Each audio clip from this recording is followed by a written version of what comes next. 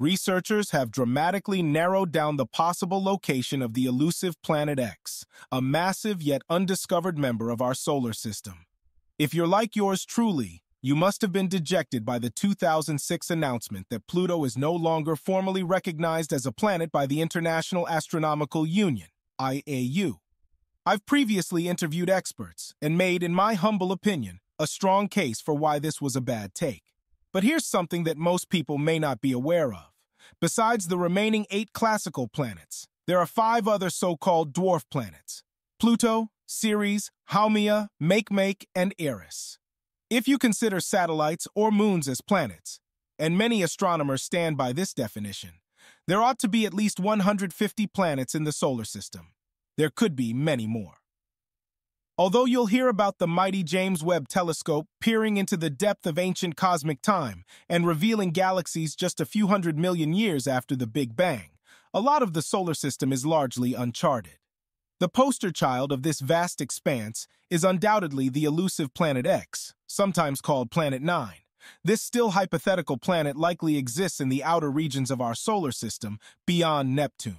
This notion stems from observed anomalies in the orbits of trans-Neptunian objects, TNOs, and other distant celestial bodies, suggesting they are being gravitationally influenced by a yet undiscovered massive planet. This isn't any dwarf by any measure, as some have proposed its mass exceeds 10 Earths. Well, if it's so large, why haven't we found this planet X yet then? Good question. Using the Oort cloud as an approximate boundary and considering it extends somewhere between 1,000 astronomical units, AU, and 100,000 AU, or about 9.3 trillion miles, would mean that the size of the solar system is between 2 to 3 light-years across. That's a lot of space to cover. Luckily, astronomers led by Dr. Mike Brown, professor of astronomy at Caltech, have just published a new study that has dramatically narrowed down the possible location of Planet X.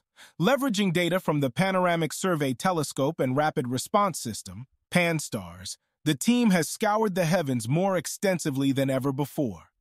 PanSTARRS, a marvel of modern astronomy based at Haleakala Observatory and operated by the University of Hawaii Institute of Astronomy, allowed the researchers to dismiss around 78% of previously calculated possible locations for Planet X.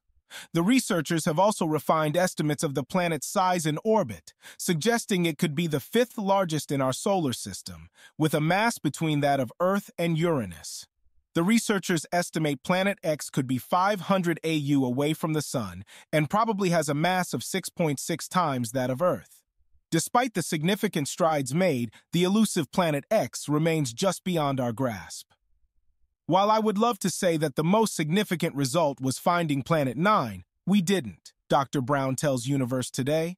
So instead, it means that we have significantly narrowed the search area. We've now surveyed approximately 80% of the regions where we think Planet 9 might be. Looking ahead, the Legacy Survey of Space and Time, LSST, at the Vera C. Rubin Observatory in Chile, which is still under construction, promises new horizons in the search. This forthcoming astronomical survey is poised to explore vast swaths of the cosmos, potentially bringing Planet 9 into the fold of our known solar system. The discovery of Planet 9 would not only expand our cosmic backyard, but also offer unparalleled insights into planetary science. Such planets are common around other stars, Dr. Brown notes, highlighting the unique opportunity to study a planet of this class within our solar system. The existence of Planet X could also explain numerous anomalies in the outer solar system's orbital patterns, providing a unified theory for phenomena that have puzzled scientists for decades.